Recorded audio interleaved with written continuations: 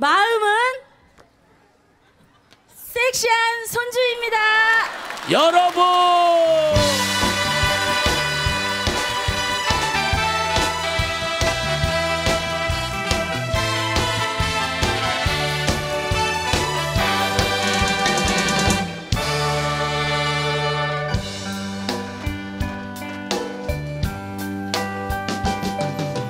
내가 만약 괴로울 때면 음, 내가 위로해 줄게.